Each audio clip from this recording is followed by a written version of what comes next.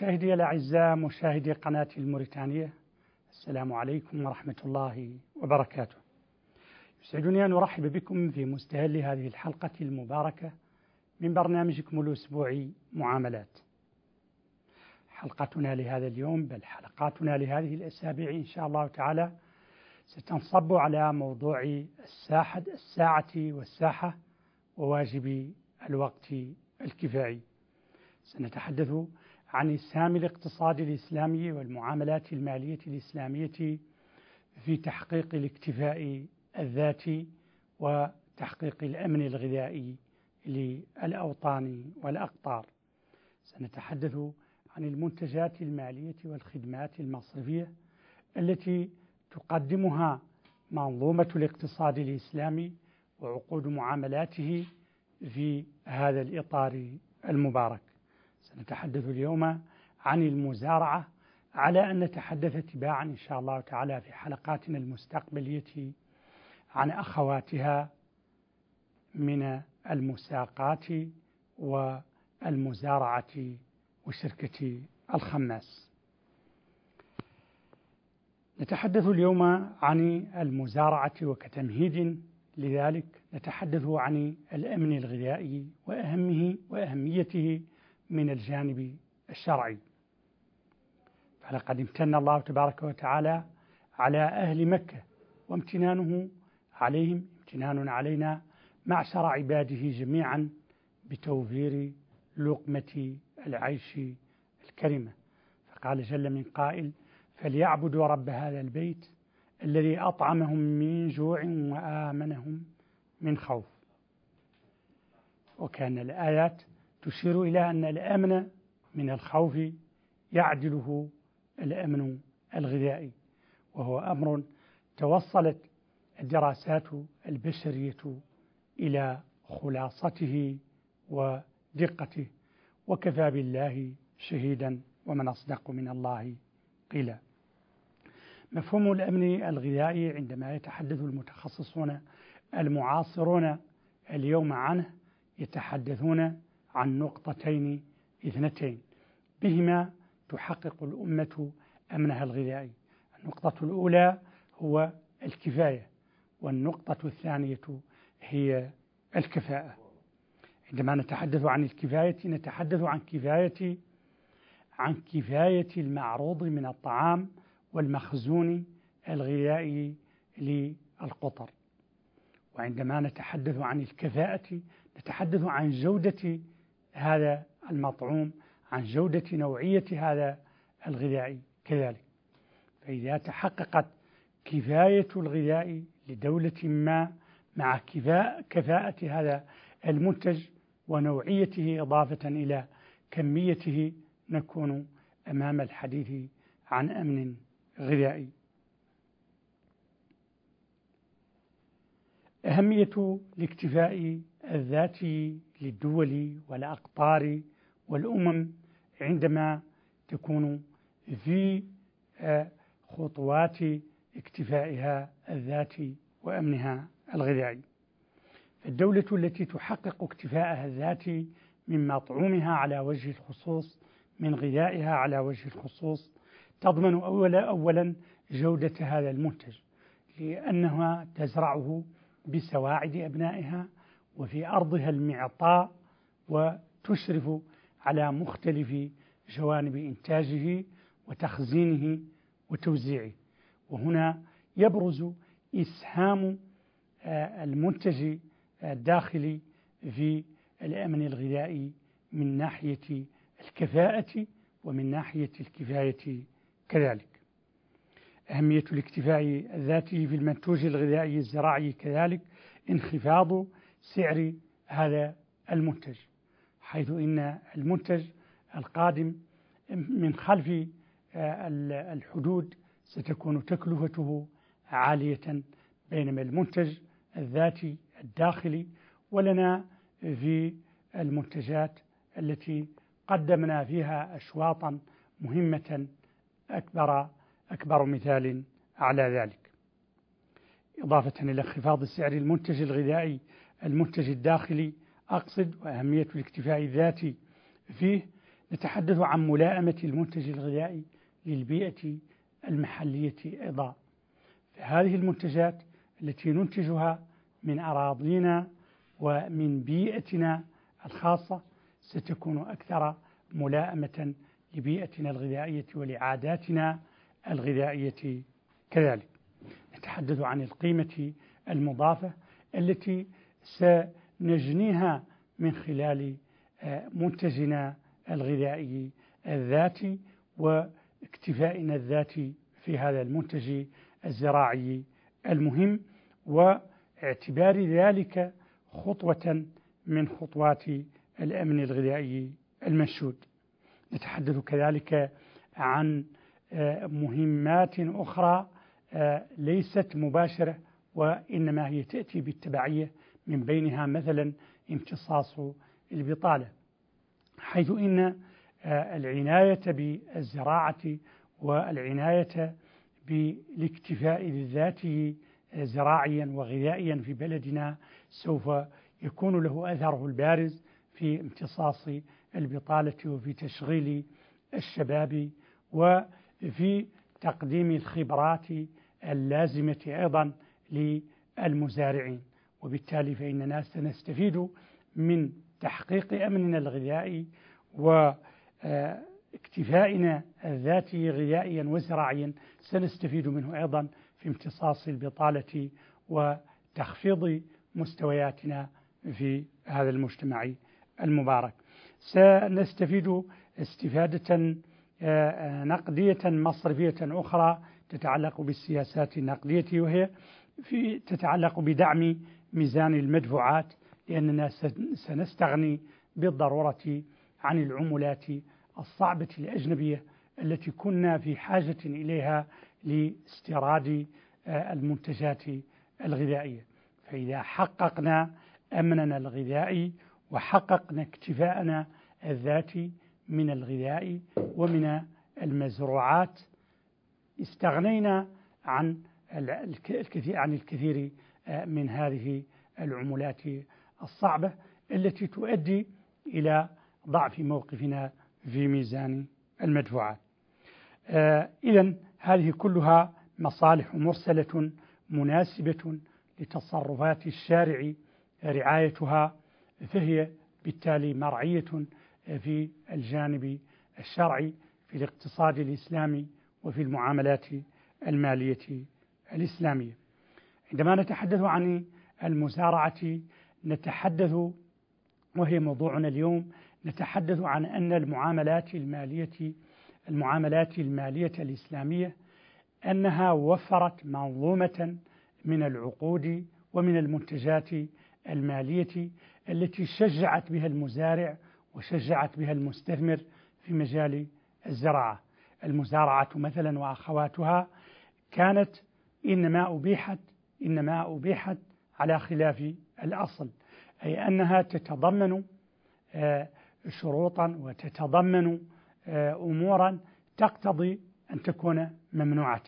فهي مثلا إجارة بمجهول والإجارة بالمجهول من الأمور المحرمة بيد أن الفقه الإسلامي بيد أن الاقتصاد الإسلامي والمعاملات المالية الإسلامية قد آه، تعاملت تعاطيا وتعاطت تعاطيا إيجابيا مع المزارعين ومع المستثمرين في مجال الزراعة لتحقيق الأمن الغذائي وتحقيق الاكتفاء الذاتي للأقطار التي يوجدون فيها فأباحت لهم ما كان غير مباح في الأصل.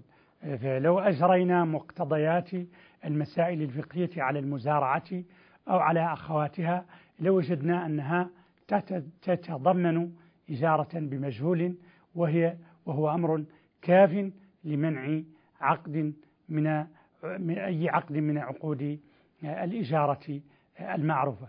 بيد أن الفقه الإسلامي والاقتصاد الإسلامي والمعاملات المالية الإسلامية كما أسلفت قد تعاطت تعاطيا إيجابيا لتشجيع المتدخلين في هذا المجال فأباحت لهم من العقود ومن المعاملات ما يسهم في تحقيق هذا الأمن الغذائي المنشود ومن خلال مدخله الأساسي الذي هو الاكتفاء الذاتي. إذا تحدثنا عن المزارعة فإن مفهومها أن ندفع الأرض لمن يزرعها ويعمل فيها والزرع على أن يكون الزرع بين العامل وبين مالك الأرض بنسبة يتفقان عليها. دعوني أضرب أضرب مثالا لتقريب المزارعة من الأذهان. لدي أرض بيضاء. ليست لدي القدرة أو ليس لدي الوقت أو ليست لدي الخبرة لأقوم بزراعتها في هذا الموسم المبارك الذي نحمد الله تعالى ونشكره على هذه الأمطار التي امتن بها علينا ونسأله أن تكون أمطار رحمة وبركة.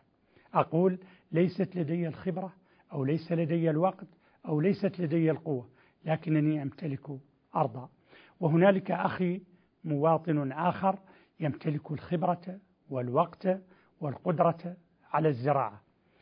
فأباح لي الفقه آه، وأباح لي الاقتصاد الإسلامي ومقتضيات المعاملات المالية الإسلامية أن أتعامل معه بجسر هذه الهوة التي تفصل بين الخبير القادر ذي الوقت على الاستغلال على استغلال الأرض بالزراعة وبين الطرف الآخر الذي يمتلك هذه الأرض.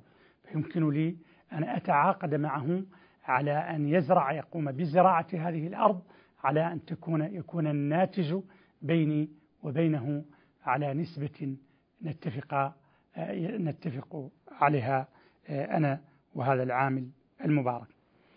عندما نتحدث عن شروط المزارعة يشترط لها أن تكون الأرض صالحة للزراعة حتى لا نكون أمام أمر يضر بالعامل.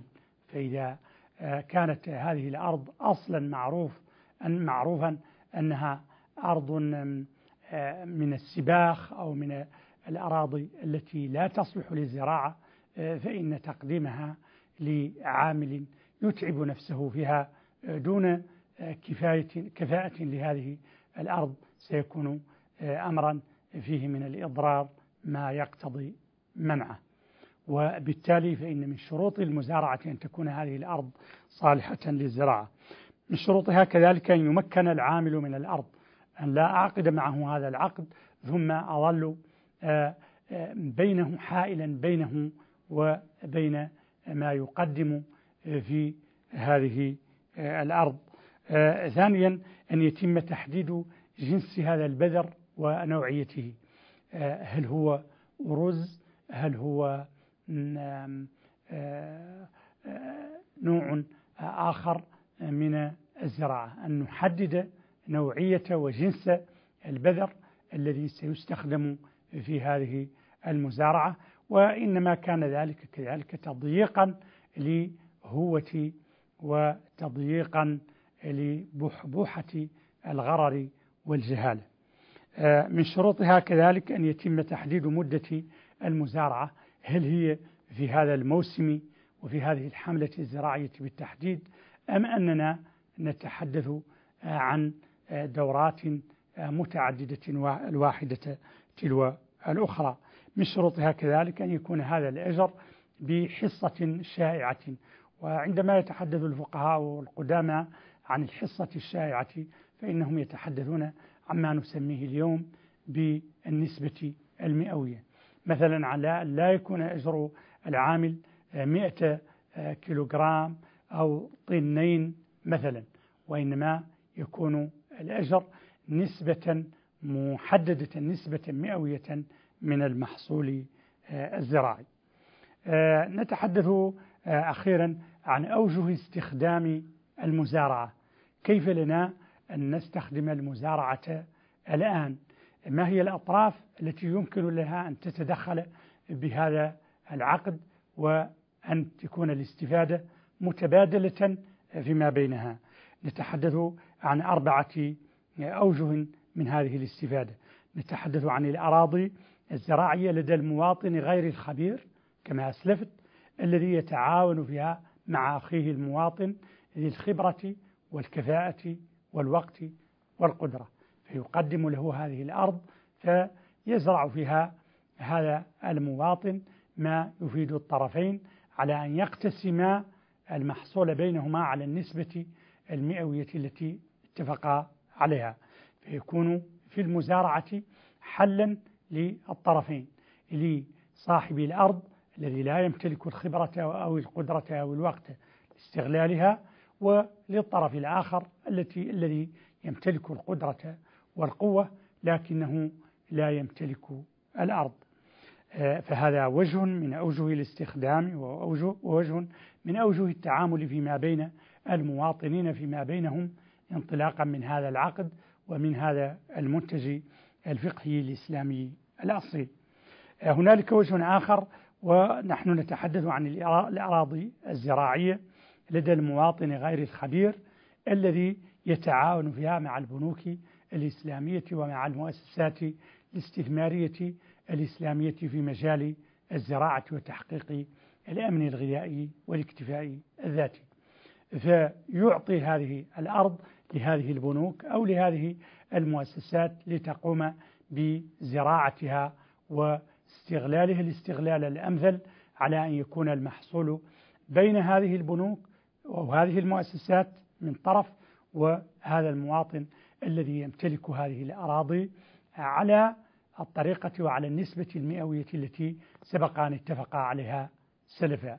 فتكون الاستفادة أيضا مزدوجة بين هذا المواطن الذي يمتلك هذا هذه الأرض آه، والذي يعجز عن استغلالها لأي سبب من الأسباب وبين المؤسسات المالية الإسلامية التي تحرص على الاستفادة من هذه الأرض دون الحاجة إلى تحمل مخاطر امتلاك هذه الأرض ودون الحاجة إلى استغلال سيولة عالية في الحصول على هذه الأرض وتملكها بوجه دائم. آه، لدينا وجه ثالث من الاستخدام وهي أن تكون هنالك أراضي آه، زراعية لدى هذه البنوك أو لدى هذه المؤسسات المالية الاستثمارية الإسلامية. وتكون وتكون غير مستعدة للعمل في زراعتها وفي القيام عليها ومتابعتها بعيدا عن مخاطر السوق ومخاطر التشغيل. فيمكنها أن تتعاون مع المواطنين وتعطيهم هذه الأراضي بنسبة من محصولها عن طريق المزارعة. أخيرا هنالك أيضا ربما نفترض أن هنالك أراضي زراعية صالحة للزراعة وهي ملك عام للدولة. فبإمكان الدولة كذلك أن تقتطع جزءا من هذه الأراضي للمؤسسات المالية الإسلامية والاستثمارية في هذا المجال عن طريق المزارعة أو أن تتعاون فيها كذلك مع الخبراء المواطنين الأفراد المهنيين ليزرع آه، الطرف آه، المزارع آه، عليها على أن يكون المحصول بين الطرفين بالنسبة التي يتفق عليها الطرفان. وهنا تتحقق المصلحة المزدوجة هي بقاء الأرض ملكا للدولة جزءا من أملاك الدولة من ناحية ومن ناحية أخرى تكون استفادة المواطنين الخبراء منها واقعا عمليا ويكون كذلك استفادة المخزون الغذائي للدولة وبنك الغذاء الذي يحقق الاكتفاء الذاتي ويحقق بالنتيجة الأمن الغذائي للوطن والمواطن. إلى هذا الحد مستمعينا ومشاهدينا الكرام نكون قد وصلنا إلى نهاية هذه الحصة المباركة. يسعدنا أن نستقبل استفساراتكم وملاحظاتكم وأسئلتكم على صفحة الموريتانية الظاهرة على الشاشة وكذلك على صفحة معد ومقدم البرنامج الظاهرة على الشاشة كذلك. إلى أسبوعنا. القادم هذه تحياتي وتحيات فريق الفريق الذي أشرف على هذه الحلقة. والسلام عليكم ورحمة الله وبركاته.